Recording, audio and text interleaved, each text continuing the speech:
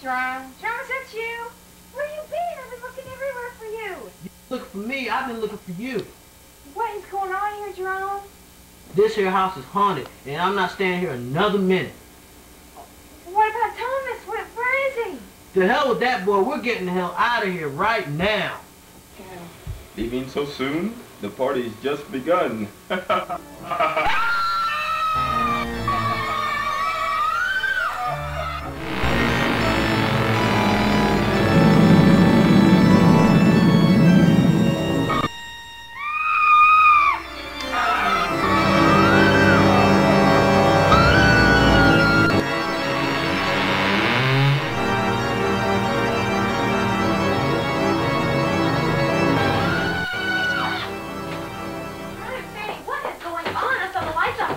off in the driveway.